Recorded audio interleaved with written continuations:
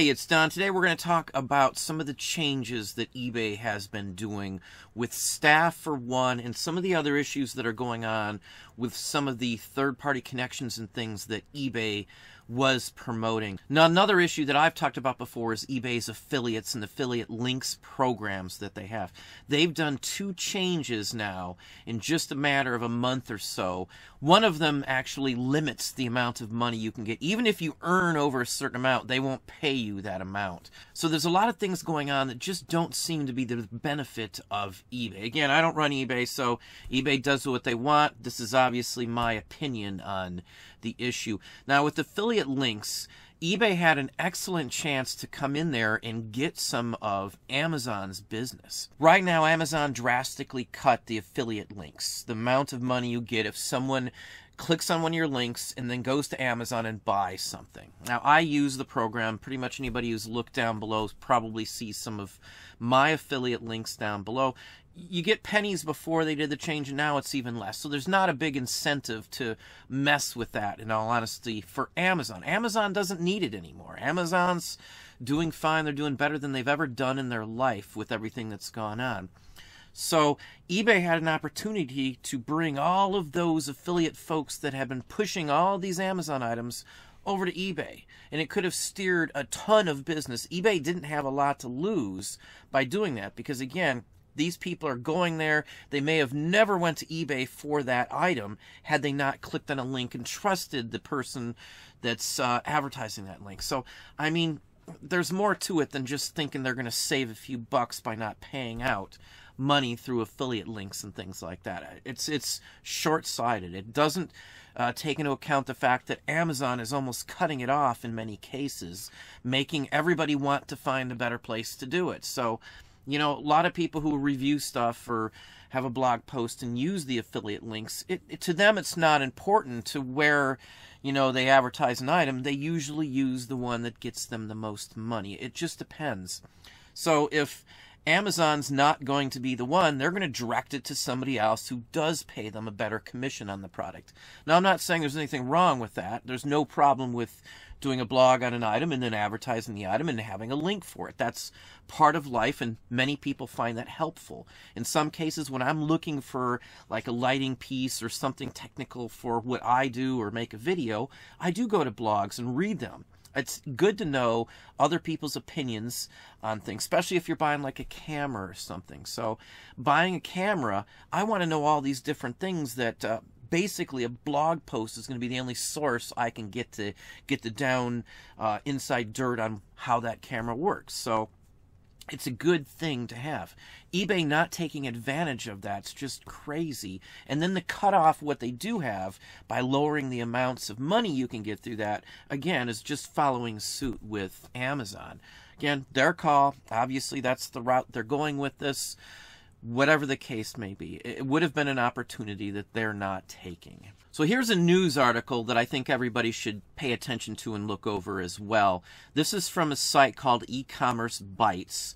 Uh, several people sent me this after I posted a video. This says head of eBay developers program departs the company basically. This person is leaving. This person is the one who handled API and pretty much all the other stuff. This person spearheaded that program. Now, I'm not going to call it any names. You can read the article yourself, and I would recommend it as well. Again, e-commerce Bytes. head of eBay developers program departs company. You just type that title in if you can't get the uh, address there, and it'll take you to that uh, article, I am sure basically it's talking about the, departure and what this person did. And this person did handle the initiative in working with third party apps immensely.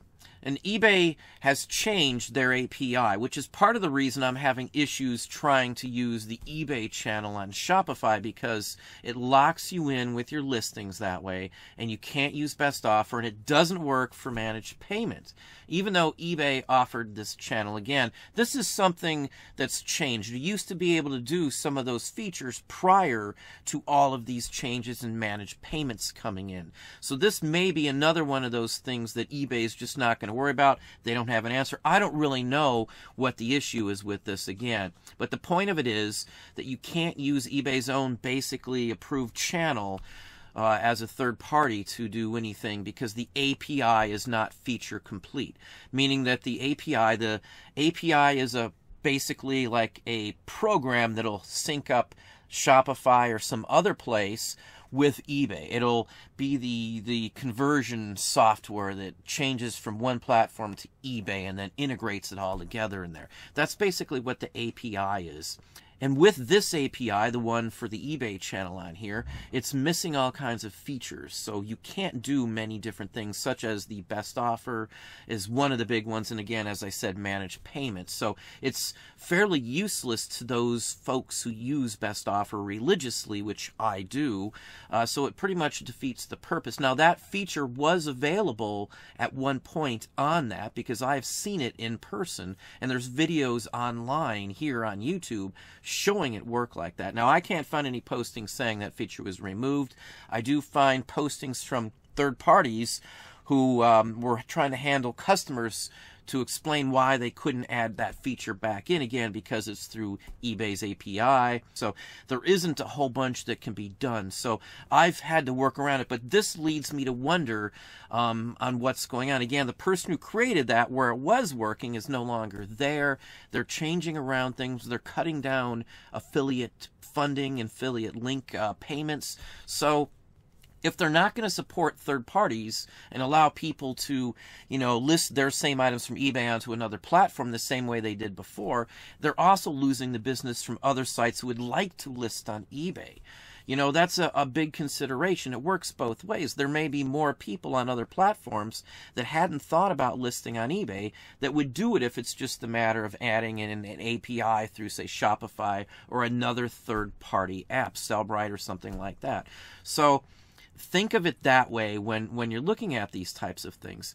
What route are they thinking? Are they cutting off service? Again this has been going on for a couple months from what i can see. I've read you know quite a bit of posts lots of comments lots of reviews on the issues and things like that. For quite some time a couple hours i spent trying to make heads or tails on, on what was going on. I can't find a post anywhere that says hey this is what's happening also, in this article, at the bottom, if you go down to the bottom of this same article here, they talk about two members of the board that have been on the board for a long time are now stepping down as well. Now, again, this is something that a lot of businesses do. They'll change the whole structure under new management. You'll see those signs even in small businesses when they do that. So, nothing wrong with that. It just depends on who they bring in to replace everybody. Again, we know the guy running it now is a Walmart guy. Just like with the affiliate link, I said that would be a warning shot. That's basically what they're doing. They're showing which direction, in my mind, their business is heading. So just pay attention to what's going on. These are all key important factors to be aware of. It could lead to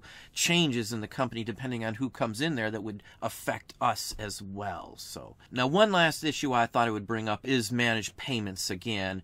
Um, there's been a lot of talk about having someone from eBay's managed payments coming on and explaining a lot of what's going on and setting us at ease with how they are dealing with the process and how it's going to affect us with maybe category blocks and things like that. Until eBay figures out things, once I'm in managed payments, I can't sell a whole bunch of items. So, what route are they going? Just like with the third party apps, eBay's own channel, as I said, eBay's own API to link eBay to Shopify doesn't work as sync with managed payments. You know, it's cutting off all kinds of business that eBay would want.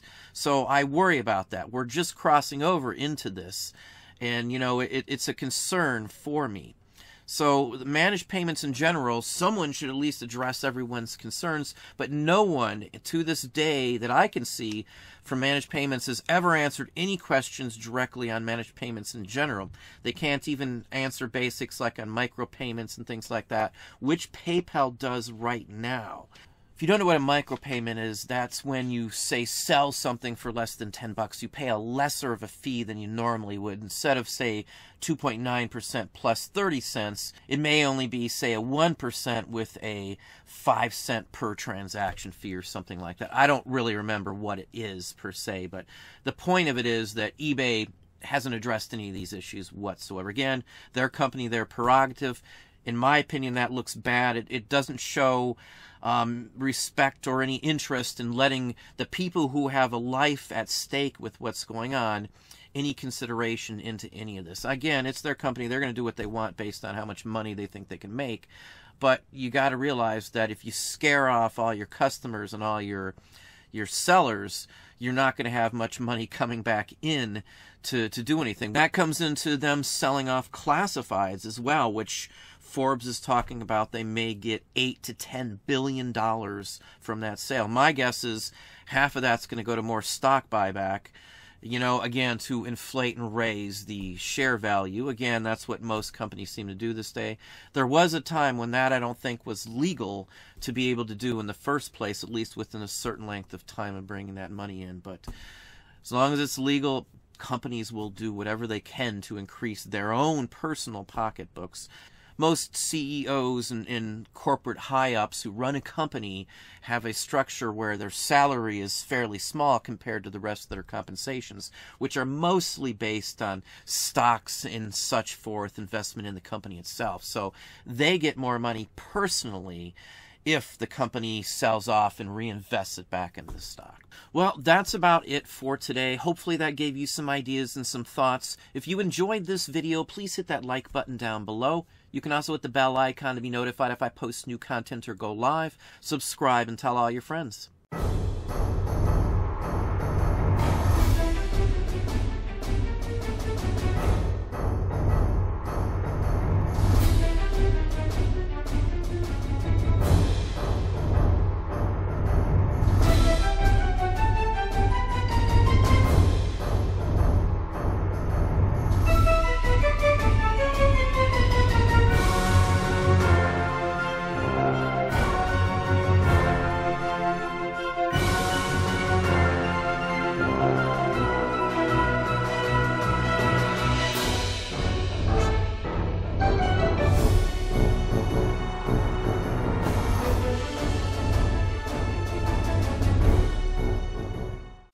Micro Machine Man, and this is the seriously small Micro Machine Service City, the perfect place to take your micros for serious servicing. This place has it all. Movable garage doors, liftable lifts, simply amazing service bay, two level parking, and a totally terrific turning turntable, and the super showroom. The service here is simply stupendous.